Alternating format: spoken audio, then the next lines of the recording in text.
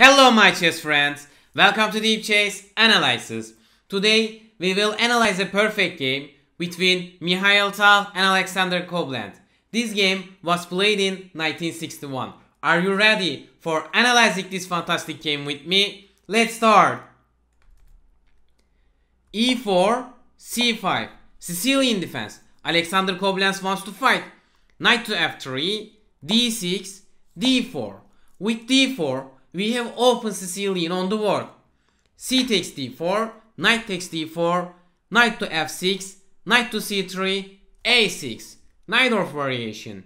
Now, in this position, there are different lines Mikhail Tal could play, and he decided to play bishop to g5. Bishop to g5 is main line. e6. With e6, Alexander Koblents didn't want to play with doubled pawn on f file. f4. f4 is a very aggressive move. But did we surprise? Of course not. This is Mikhail Tal. Bishop to e7. After bishop to e7, Alexander Koblents is ready for castle. At the same time, he prevents the pin after pushing e5. Queen to f3, queen to c7, queenside castle. This is a standard theory and many of us know very well. But don't forget that this, this game was played in 1961 knight b d7. Knight d7 is a very flexible move. And now Alexander Koblents has a lot of different moves with his knight. Bishop to e2. After bishop e2, white finished his development. h6. Alexander Koblents say, Hey, Mikhail Tal, what do you think about your bishop? Show me your plan. Bishop to h4. Of course, Mikhail Tal didn't give up his dark square bishops easily. b5. If your opponent attacks on the king side, you should attack on the center or the queen side. In our game, Mikhail Tal tried to attack on the king side and Alexander Koblents tried to attack on the queen side. He is stick with simple chess principle. But after pushing b5, light squares on the queen side are quite weak now. e5. Mikhail Tal immediately pushed e5 and wants to take the knight. Bishop to b7. You can stop the video here and just think about the Mikhail Tal's move. While you are just thinking, I should drink water.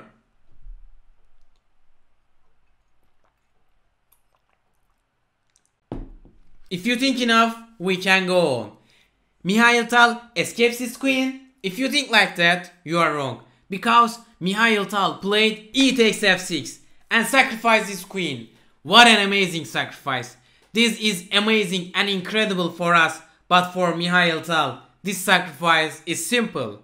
Bishop takes f3, bishop takes f3. After queen sacrifice, Mikhail Tal gave up his queens, but now he has an extra bishops and extra knight. At the same time, he has two trade, bishop to e6 and bishop takes a8.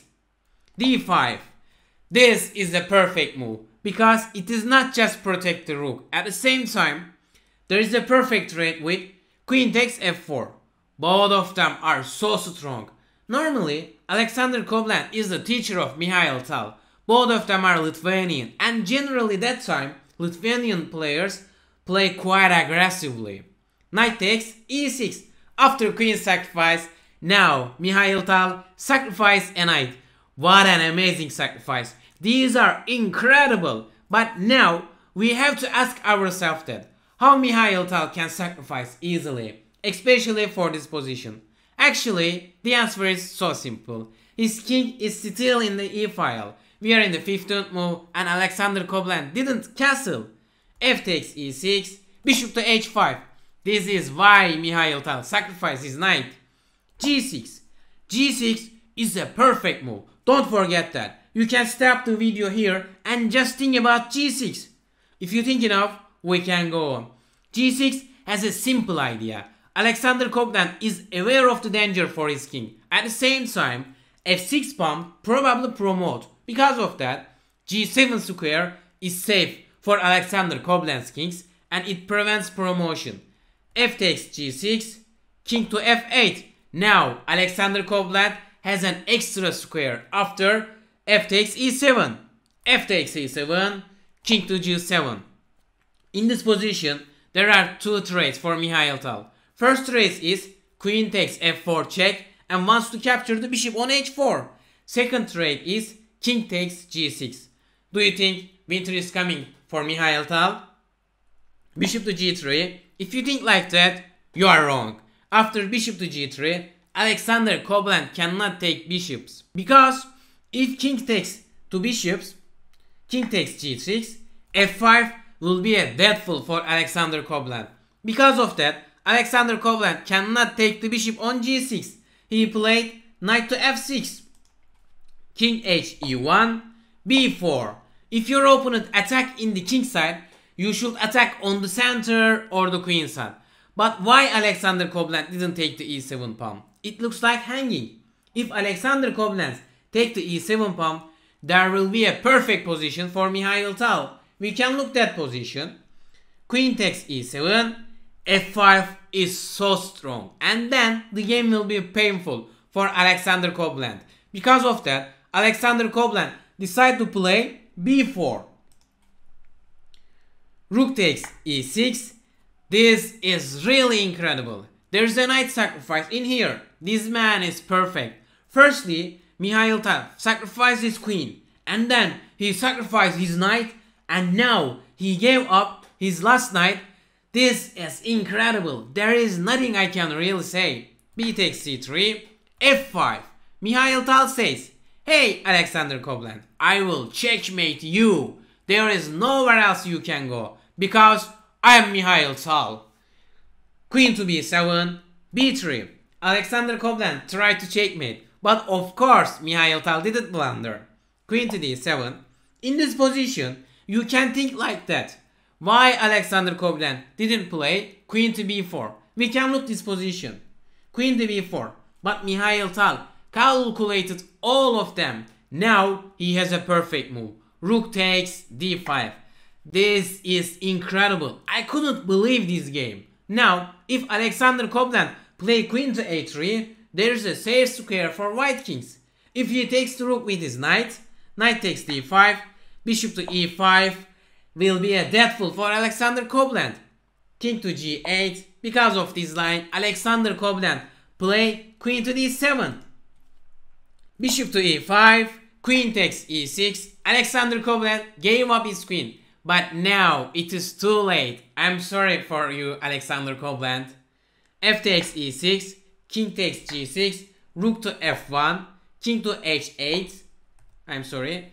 Knight to h7, bishop takes h8, rook takes h8. After trading the pieces, we will see the power of the doubled e pawns.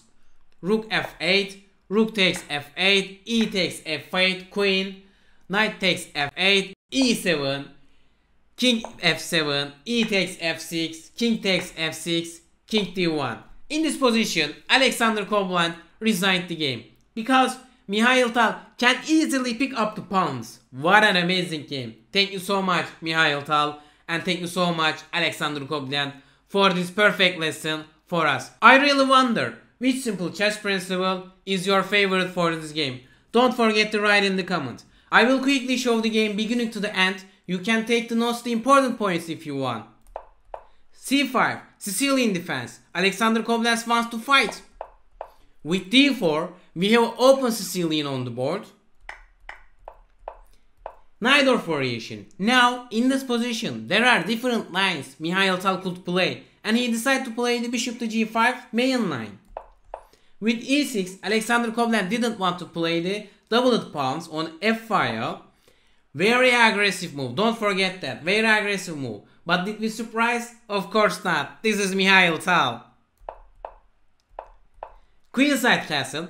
This is standard theory and when many of us know very well. But don't forget that. This game was played in 1961. Don't forget that.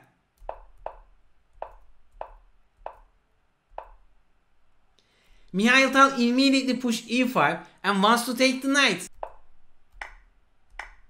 Perfect. After queen sacrifice, Mikhail Tal gave up his queen, but now he has an extra bishops and extra knight. At the same time, he has a two trades.